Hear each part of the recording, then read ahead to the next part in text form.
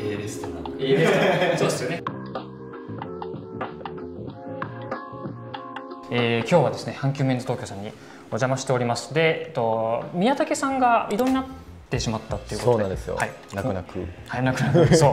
なので後任の大林さんに、えー、今日はレザーサンダルのご紹介をお願いしたいと思いますのでよろしくお願いします。よろしくお願いします。はい。じゃあ早速なんかこう多分順番に並べていただいてると思うんですけどはい。この辺りからぜひ見させていただいてもよろしいでしょうか？そうですね、はい。まずまあこちらなんですけど、ありがとうございあの皆さんご存知のはい。クロッケットジョーンズのフィッシャーマンというモデルなんですけれども、はい。あの製法はグッドイヤーで作られていまして。あグッドイヤーなんですはい。ね、やっぱそこもクロケットのこだわりをしっかり感じるところかなと思いますね、はいはいはい。あとまあ個人的にこの色がなんかこうん。う明るすぎず、暗すぎずのいい塩梅の色かなと思いますね。ナチュラルカラーのめちゃめちゃ可愛い色ですね。他とちょっと被りにくくてもあ確かに確かに。いいかなと思いますね。これあのまあグルカサンダルっていうようないわゆる見た目ですけどちょっとこの辺あのちっちゃくて可愛らしい感じもありますね。そうですね。ちょっと可愛さが垣間見えるうん。可愛いやつかなと。可愛いやつですね。であそうか。全時期になってるんですね。ちゃんとそこもしっかりしてますね、はい。本当に革靴に近く作ってる。確かに。結構全体的にしっかり作られてるんでなんていうかあの多分丈夫なんだろうなっていう感じがしますよね。そうですうね、ん、でしっかりあの修理もできたりするので。ああ納得です納得です、もう本当にまあ黒家が提案している革靴のサンダル版みたいな感じ、うんうん。はい、すごいしっかりしてます。で、えー、とこれがナチュラル。であとブラウン失とね。はい。ブラウンとあこれはまあよく見る、はい、そうですね、革の色というか。経年変化も一番楽しんでいただけるそうですね。お色かなと思います。はい。綺麗ですね。とあすいません。じゃあブラックも。あとはブラックです、はい。これですね。次はフラテンリ・ジャコメッティっていうブはいランドなんですけれども、はいまあ、こちらはマッケイ製法で作られてましてまあその分こうコバが綺麗に削られているので、はい。よりエレガントなグルカサンダルとなっております。なるほど、まあ、あとサンダルだしちょっとこう気軽に履きたいわっていう感じの製法でもありますよね。そうですね、うん。でさらにこのモデルはユタカーフを使っているのであはいはい。ああの最初からすごい履きやすくて馴染みがいいです。本当だ。あのこの辺すごいあの油分が含んでそうだな。柔らかいなっていう感じの触り心地ですね。ではいマッケイです。でマッケイでも伏せてるっていう。そうなんですね。ねはい、しっかり作られてます。そこもエレガントこだわりがはい。ありますね。まあ、ジャコメッティの,、ね、あのグルカサンダルらしい見た目というかあのなんなんていうのかな。まあ、一番皆さんがうん見慣れてる感じですよね。形かなと思います。そうですね。はいはい。あそっか。ごめんなさい。ちょっと今気づいたんですけどここ結構このここ空いてるんですけどあそうなんです。黒毛はそっかなんかしっかりしてるなと思ったらここ結構空いてないんですね。やっぱグッドイヤーで作るためには結構靴に近い形の方がそういうことですね。いいので、まあ、逆にそのカッティングのはい。違いも、うんうんそのちょっと。なんていうんですかね楽しみの一つかなと確かに思いますね。ここは結構好みが分かれそうというか、うんうん。はい。まあ、しっかりめの革靴に近いサンダルなのか、まあ、いわゆるこう見慣れてるグルカサンダルなのか。同じグルカサンダルでも顔つきが全然変わってくる本ので。当ですね。全然知らなかったです。そこも皆さんお好みのカッティングを見つけていただければ。はい。へえありがとうございます。そっかそっか。これはいい気づきでした。ちょっとカメラでどこまで違い分かるかあれですけど。こっちが黒で、こちらはダークブラウン。はい、ダークブラウンですね、まあ、若干違うか。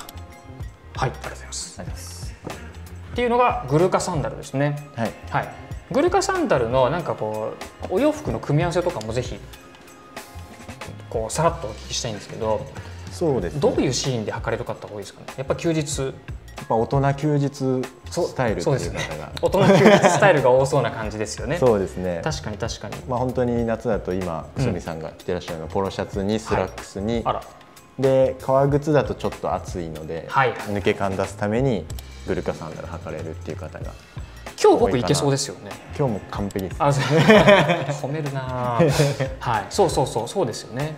であとはまあ、グルカサンダルのいいところは靴に近い形なので、はい。あの春とか秋でも全然あのジャケットスタイルにも合わせられるっていうところがおいいところかな。あそれはそっか考えたことなかったですなるほど。ジャケットでもいけちゃう。それはだからお仕事とかじゃなくて、はい。あのまあ休日の大人スタイルのジャケット版の足元ちょっとリラックスみたいなことですか？そうですね。ちょっとまあかっちりしなきゃいけない時とか。はいはいはいはい。ちょっとレストラン行く時とか。わかんないけど。A レストラン。A レストラン。そうですよね。ちょっと A レストラン行く時にジャケット羽織って、まあ、グルカサンダルでみたいな。あと短パンもいけますよね割とね多分。そうですね。短パンもあのグルカパンツのあ半ズボンバージョンみたいな、はいはいはい。ちょっときれいめなもので合わせると、グルカグルカで。そうですダブルグルカで。ダブルグルカで。ちょっと足元ねあの重くなりすぎず良さそうですよね。そうですね。はい、あとはまあ今日僕履いてるみたいにはいはい。チノとかとのうん。チノとかデニム。うん。そのあたりでパンツで外してはい。足元グルカで締めるっていうのもなるほどね。一ついいかなと思います。ちょっと今映ってないんですけどあとあそうです。ねあごめんなさい。じゃあいいんですけどあの靴下に合わせられてますね。あそうですね、僕その発想とかなかったんですけど。まあ、この靴下スタイルはどちらかというとまあ春秋でもいいですし。ああそうか単純にそうですよね、なるほどね。まあ、夏はちょっと明るめのカラー差し入れてみたりいいはいはいはい。いいかなとは思います。ゼルビーノっていうイタリア製の日本のブランドなんですけれども。あイタリア製の日イ本のブランド。日本のブランドなんですけど,、なるほど。毎年こう夏はうちに入ってくる定番の商品なんですけどでこれもごめんなさいね。これもグルカサンダルとすごく似てますね。これもグルカサンダルっていう部類には入ってて。にも入るんだ。そっかそっか。でまた昔のグルカサンダルって逆にこっちが一番近い形かなっていう、まあ、ちょっと資料とか見る限り。ああそうなんですか、はい。えそれって具体的にはこう何が違うんですか？このこういうタイプと。このキャップの部分つま先の部分ですか？つま先の部分もありますし、はい。あとこう細く編み込まれてる。ああーつま先がこれさっきジャコメッティですね。つま先がちょっと開いていたりとか、うん。うん割とこう編み込みがこっちの細かいっていう。そのグルカの歴史をたどるとこっちの方がトラディショナルというか、はい。なんですね。はいはい。ゼルビーノこれ楽そうですね。あのすごくソールも軽いですし。でまあゼルビーノの一番の魅力ははい。コスパの良さなので、はい。これちなみにお値段って言言ってもいいんですか？言ってもいいですぜ18あと1万8700円。1万1700円。そう。あそっか。じゃあ1万円台で結構この皮たっぷりの仕様のサンダルが手に入るっていうことですね。そうですね、まあ、軽く合わせられる、うん。なおかつ綺麗に見える。そうですね。これすごい楽そう。あとあとなこの中敷きの前敷きの下に多分クッションみたいなのが埋め込まれてるんでそうですね。足当たりはすごい良さそうですね割とラバーソールなのでうん。帰りもいいかなと思います。へえメイドインイタリーって書いてますね。日本のブランドなんだ。っていうのが茶色と黒と。黒と。はい。はい。ありますよと。黒もございますと。これは楽そう。あとライニングもあのないから。すごく楽そうですね。まあ、もう少しこうカジュアルダウンした見え方はしちゃうんですけど、うんうん。確かに確かに。まあ、その分よりハーフパンツとかでも合いやすいかな。とはい思います、こっちは海に履いてっちゃいそうな感じですよね。これちょっと水浸かるの躊躇するけど。まあレザーなんで水はちょっと危ないんですけど。あの砂浜キワキワまでだはいと、やめてください。砂浜まで。そうですね。そのはあのでも脱ぎ履き楽そうだからそうですね。そうですね。ちょっと脱いでいただいて。っていうのができそうな感じですね。うん。はもうガツガツ使っていただけるか。いね。はい。まあ使えそうな色ですしね。っていうのとこっちもゼルビーノですか？こっちもゼルビーノほでゼルビーノは割とこうレザーサンダルでい。いろんな形を出していて、こういうグルカなものからスライドサンダルまで。へえそっか。割とそっちのサンダル系の得意としているブランドっていう感じなんですそうですね。でしっかりレザーも使ってっていうのがはいしっかりレザーです。人気のところかなと思います。で1なるほど。万円台っていうのがはい。一番の魅力ですね。これもレザーサンダルって感じですね。そうですね、うん、まさしくで、まあ、多分底回りはさっきと同じで、まあ、皮はこんな感じ指先が出る感じ。スライド式なのでもちょっと出ていく時とかでもうんうん。履きやすいですし、確かに確かに。でクロックスとかだとちょっとカジュアルすぎるんですけどはいはいはいこれでシュッといくとあちょっと大人だなってはい。いうそうですね。感じがしますね、確かに確かに。これ1万6500円税込み、ね。なので確かにレザーの中ではかなり価格は良心的かなっていう感じですよね。こういうのってあんまりそのいわゆるまあ紳士靴メーカーとかからってあんまり多く出てないじゃないですか。はい。僕が知らないだけかもしれないですけど。いいですねこの辺ね。なんか割とサンダルはサンダルに専業しているところがああそうなんですか。へえそうなんですね。そっかそっか。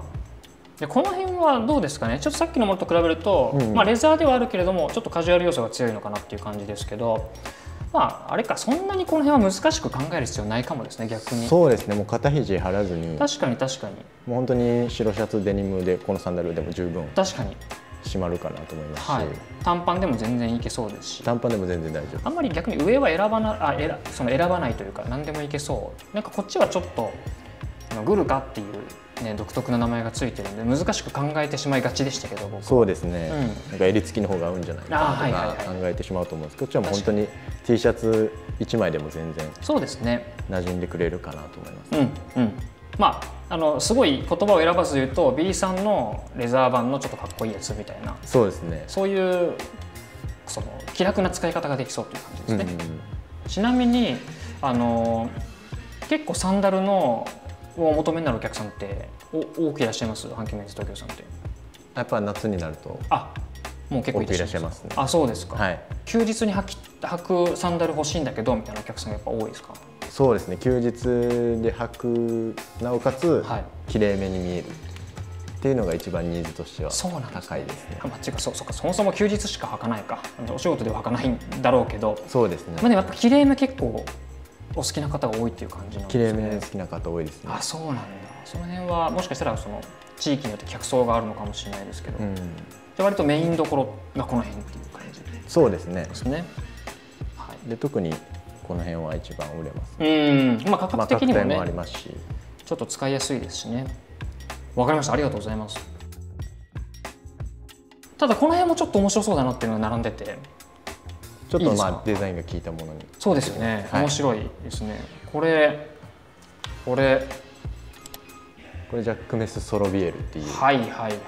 ブランドなんですけど。インスタで見たことありますよ。ソロビエルっていう、まあ、デザイナーの方がしっかりついてるああー。ブランドになりますね。はいはいはい。パリのブランドなんですけど、ね。なんかちょっとやっぱパリらしくちょっとおしゃれに詰め込んでる感じ、本当ですね。他と被りにくいデザインなのがいいですね。ねこれはすごい斬新。なこういうデザイン、まあまあ、確かに見たことないわけではないですけどだってこれ1枚なわけですもんねここぐるっと。そうですね。ね。はあこれは独特。かっこ素敵ですね。このステッチとかもちょっとナチュラルで。なんかこう綺麗に見えつつも個性があるう。ん。これライニングついてるんですね何気に。薄く。薄く、うん、裏表ちゃんとついてるのでなんか断面とかもすごく綺麗に見えます。ちゃんと仕上げられてる感じ。でこれがあこれはご存知の方多いかもですね。皆さんご存知のビルケンシュトックです、はい。これこの色可愛いですよね。このトープっていう色がうん。やっぱり一番人気ではありますね、うんうんうんうん。あ一番人気なんですね、はい。なるほどね。ちょっと厚めの、えー、肝側で。でやっぱりあのビルケンシュトックのこの中中底とかそ底面なんていうんですかね。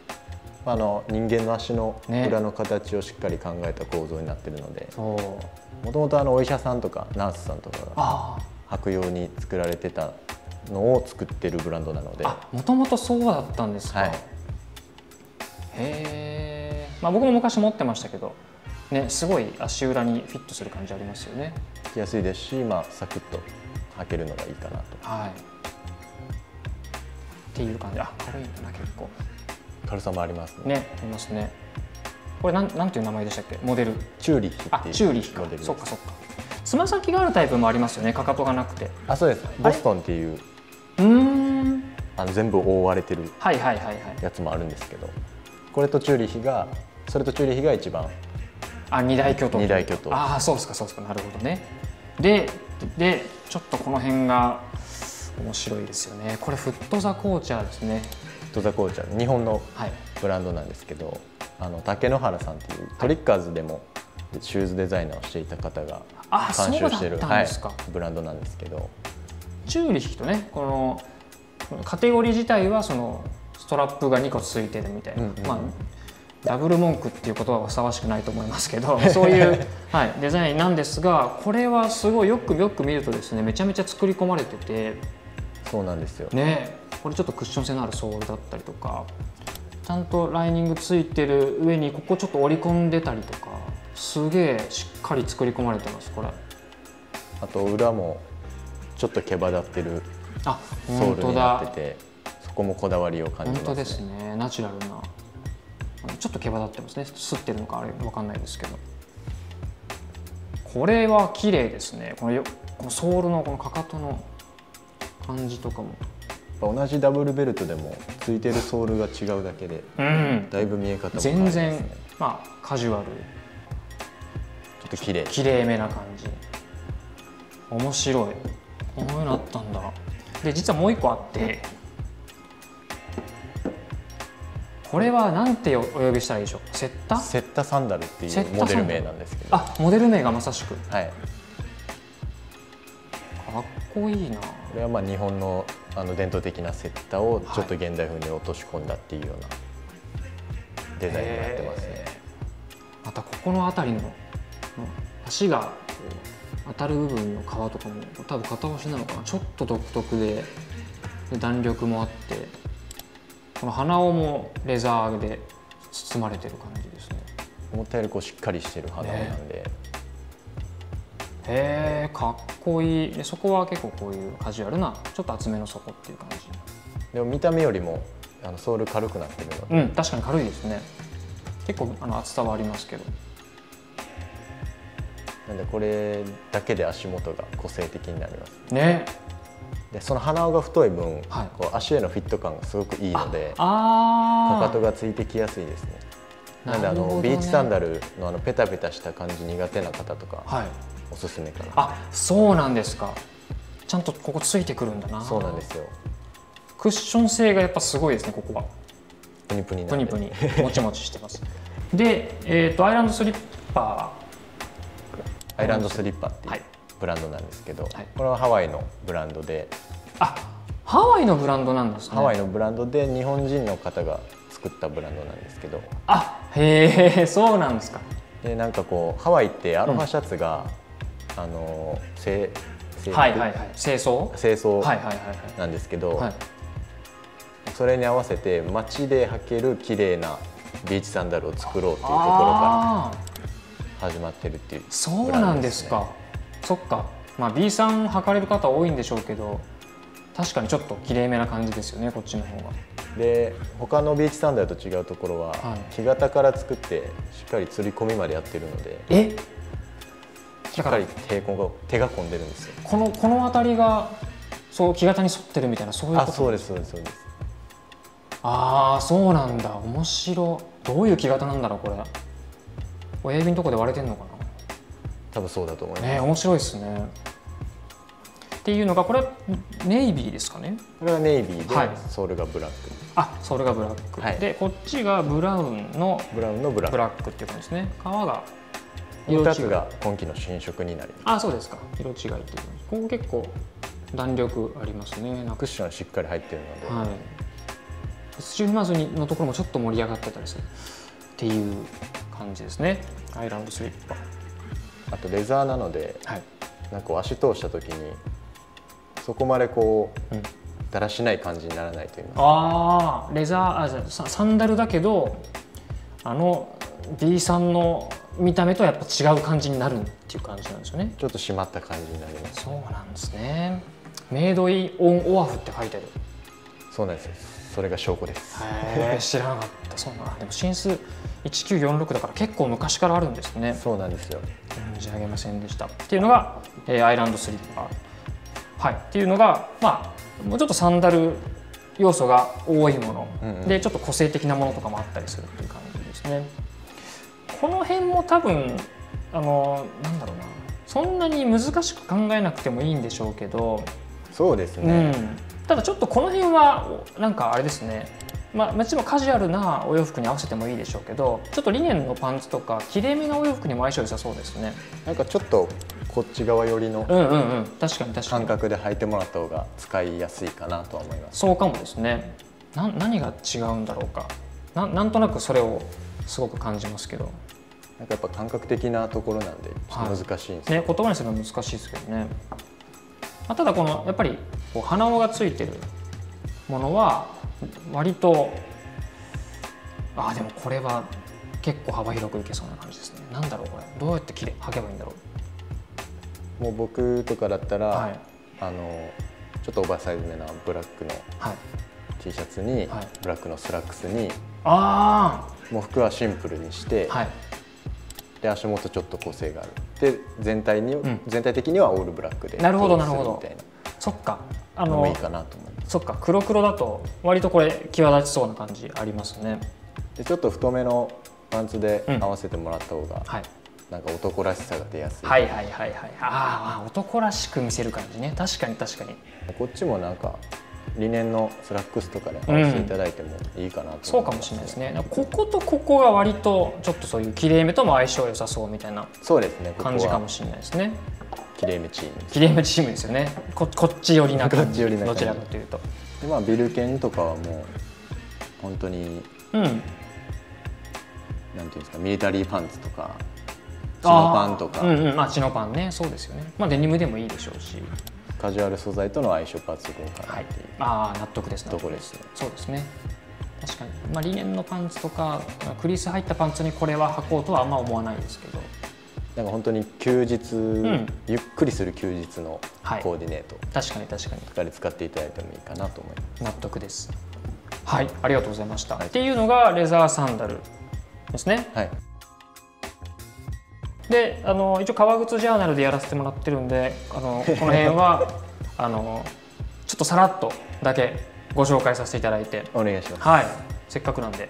これもあれですよね。レザーは使ってないけれども割とあのよく見ますよね。このキーンのサンダル。そうですね。キーのユニークっていうモデルなんですあユニークっていうモデルなんだ。結構あのタウン用にうん。は作られてるので、はい。まあこうアウトドアブランドなんですけど、はいはいはい。まあ、タウンユースしていただいても全然いけるかなっていう。ので毎年人気のアイテムですね。これに靴下履いて合わせてる方めっちゃ見ます。でキーンのユニーク用の靴下とかも出してたりするので。あキーンから？そうなんですよ。あこれに合わせるようにってことですね、はい。へえそこまでやってるんですね。面白い。でもかまあ言ってしまえばこの辺と同じように、うん。春と秋も履けるようにっていうキーンからの提案。はいはいはいそういうことか。夏だけじゃないんだぞと。そうなんですよ。はい春と秋にも買ってくれよってことですね。これもキーンですね。これキーンのシャンティっていうモデルなんですシャンテけどィ。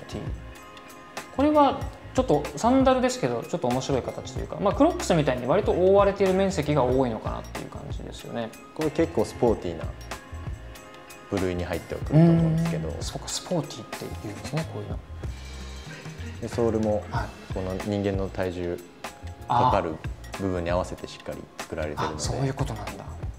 で一番魅力なのがはい。ここのクッションはい。が絶妙にいいんですよ。あ本当だ。ちょっとあの弾力はありますけどちょっともっちり感ありますね。なんかこう柔らかすぎずうん。硬すぎずのいい塩梅を。はいはいはい。納得です納得です。やっぱりキーンもしっかりこう人間の足について研究した上で作ってるので。そうなんですね。そういうブランドなんだ。履きやすさは間違いない。うんうんはい納得です。これもキーンのニューポートっていうはい。あのユニークと二大巨頭であこれ二大巨頭なんだ。夏人気なんですけどもともとキーンがはい。つま先を守る靴を作るっていうコンセプトから始まってて。へえなんでここのつま先のところがここしっかりしてますよ。ねめっちゃしっかりしてますこここれは本当にもうあのしっかり山の軽いアウトドアとかでも使えるようになあってるので。そうなんですか。山とかでも結構いけちゃう感じなんですね。でも確かにそこ結構しっかりしてて滑りにくそうだし。そうなんですよ、うん。ここはしっかり考えられてて。ですね。でこっちはシティ用に使われてるんでそれもそこまで確かに。ごつくはなってないです。うん、平坦ですけどこれは結構しっかりしてますソールが金であのアウトドアで使ってもらうアイテムは大は体このごついつま先がついてる。ああそっかそっか。こっちはタウン用だからそこまでつま先は守ってないけれどもっていうことなんですねきっと。なのでこうお子さんとかいる方にはい。キッズもあるんではい。お子さんとかも安心かああそっか。きちっちゃいタイプあのサイズもあるんだ。なはい。なるほど。えこの辺は全然知りませんでした僕。っていうサンダル。この辺はもうまあ、アウトドア用だからあんまりそのお洋服がどうとかって言わずに外行く時は履いていけっていう感じですね。そうですね、うん、はい。という感じでちょっとねレザーサンダルのえー世界をお見せていただきましたけれどもやっぱりあのいわゆる革靴が好きな方々がご存知のブランドからもうちょっと気軽に履けるものとか個性的なものとかが結構あったりしたので、まあ、個人的に結構この辺面白かったなと思ってるんですけれども、えーまあ、気になった方はですねぜひあの足を運んでみていただいて足入れをしていただければなという感じですよね。お願いしますあんまりあれですねサイズがすごくこうパチッとなってないといけないかっていうと、うん多分そこまで厳しくなさそうですよね。そうですね、うん革靴みたいにこうギチギチで履いて伸ばすとかいうのではなくて、そうですよね。まあ、本当にもうリラックスしてはい、選んでいただければなと思います納得です。5階にこれ全部あるんですよね。全部5階にあります、わかりました。という感じでちょっとレザーサンダルを拝見させていただきました。ありがとうございました。ありがとうございました、はい、またぜひ次回もなんかローファーとかまた見たいです。任せてください 近々じゃあローファーの動画も撮らせていただくことになればいいなと思ってますので、またよろしくお願いします。よろしくお願いしますはい、ありがとうございました。ありがとうございました失礼します。